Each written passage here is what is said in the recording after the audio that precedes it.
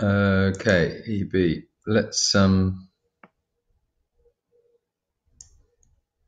have a run through this. So, not sure why I've got the bold in here, but there we are. Don't need a capital D for drama.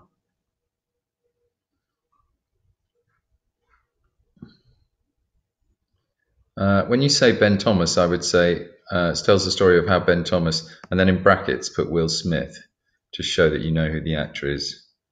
Um,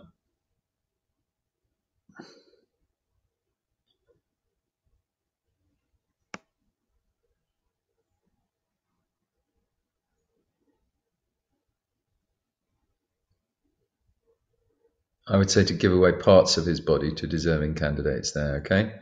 Um,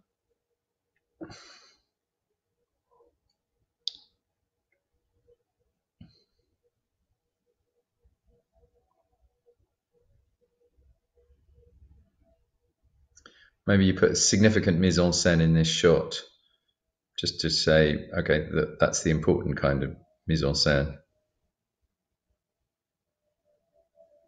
Yeah, good. Uh, I would just say brings tension rather than brings on.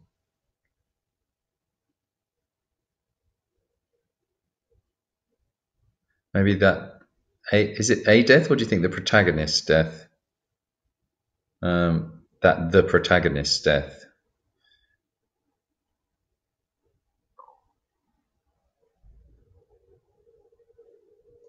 Good. I'm just reading this as I go, so I've got to hear now. Um,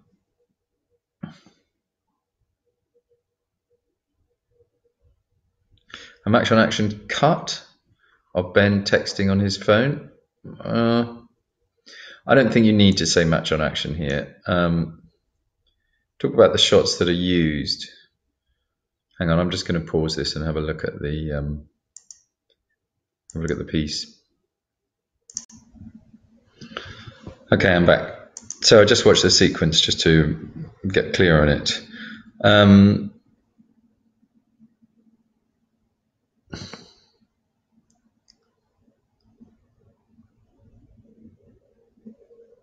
yeah, I, you might want to say something. Do you remember when we talked about how over the head is very common for um, bird's eye shots in film uh, are very often used to symbolize the death of the character shown, something like that. Um, I think you need to say, uh, I would say a short underwater pan shot because you've got to make it clear that the camera is underwater at this point.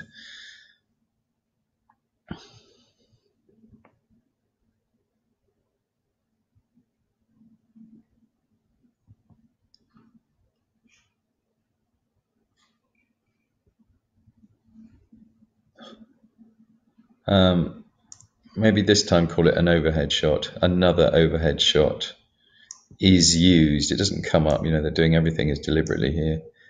Um, I think you should say about the non-diegetic music that it starts to feature voices. There's this kind of heavenly choir here, which connotes death as well, uh, almost uh, almost in the style of a requiem. If you look at what a requiem is, I mean, it's like a hymn that's sung when people uh, are dying or in memory of people.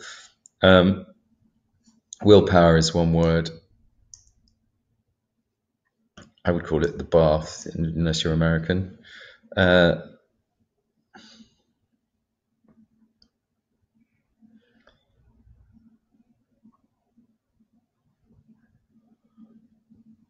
I would say connoting here, popping with veins, connoting that the sting uh, or the poison, the venom, let's say, uh, the venom has caused Thomas's heart to beat at a very rapid pace, something like that.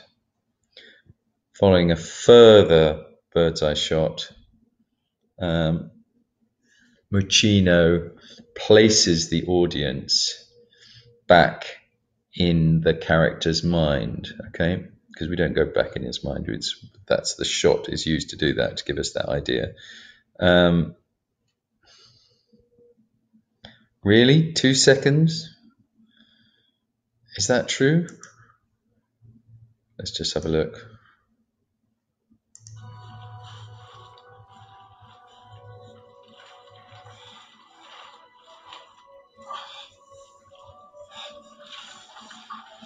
talked about the ice. I mean, there's a, there's a kind of connotation with the ice as well. I mean, it, it and this shot might be worth describing this shot of his fiance, this flashback, because um, it links up with them lying on the road towards the end, doesn't it?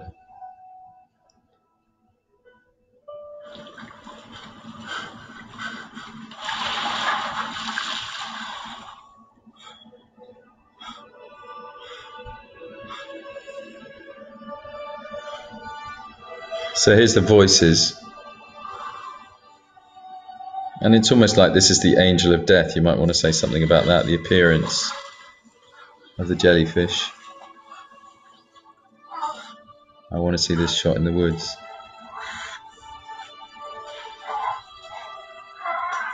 There's your other overhead shot, yeah.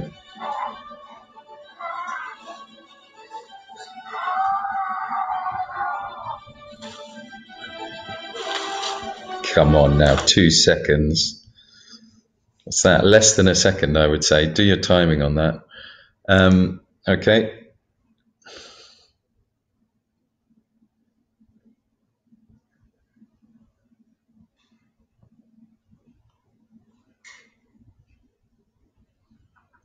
Uh, I would say emphasize uh, the character's pain, the character's increasing suffering, something like that.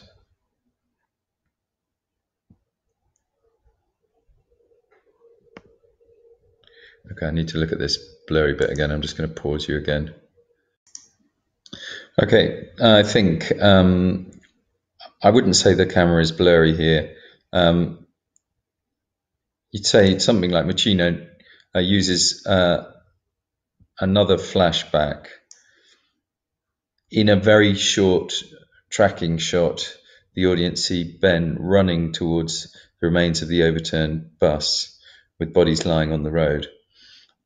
A handheld camera is used here to communicate to the audience uh, the chaos that surrounds him and how the car crash uh, has affected him, something like that. Um,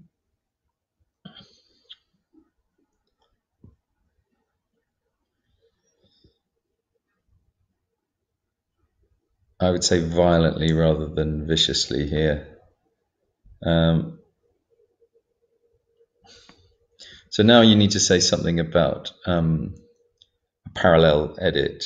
Um, this parallel editing continues, or uh, the sequence continues cross cutting between the flashback and the scene with Ben in the bath.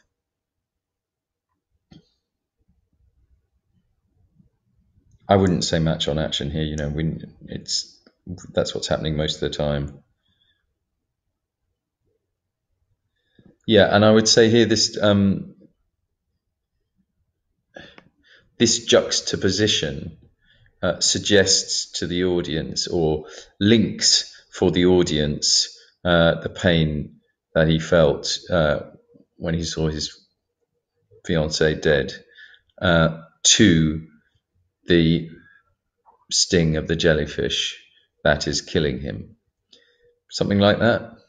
Um, the other thing I would say, if you want to make a more sophisticated point about the camera work, the very shaky camera work there, I think, uh, connotes the the chaos and the lack of control he has. Whereas it's a very still camera in um, those shots at uh, the end in the bathroom, which kind of suggests an inevitability that he is in control there, uh, and that this is going to happen um, because he's planned it so carefully. So there's a kind of um, almost sort of subliminal message to the audience about the difference between these two situations that comes through the camera work. I'm going to run out of time now, so I have to make another film. So I've finished this.